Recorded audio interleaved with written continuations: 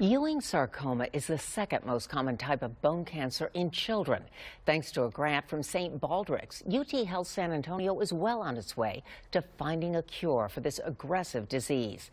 Eyewitness News reporter Jeremy Baker spoke with one of their researchers and a local high school football player who is battling the disease himself.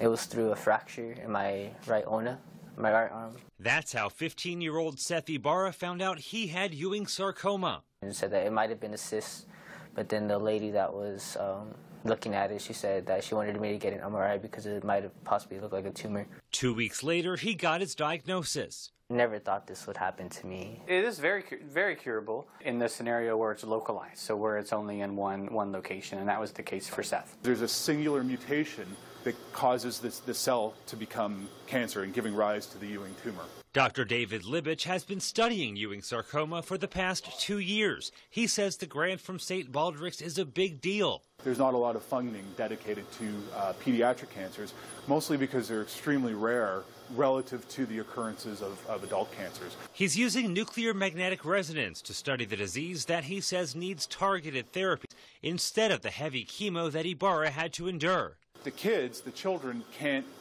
withstand these assaults um, as adults would. But even after all the chemo and surgeries, they took out my right ulna, about 12 centimeters. From my fibula and my leg, they took about 12 centimeters as well. And with support from his fan club at University Hospital and with this brace for his foot, they had to like stretch out my nerves so that they can be able to get the bone out. Ibarra was back to playing sports as soon as he could. In August, I had finished chemo, and by December, January, I ended up going back to playing sports immediately. In the end, it's like, it shaped me into who I am. Jeremy Baker, KENS 5 Eyewitness News.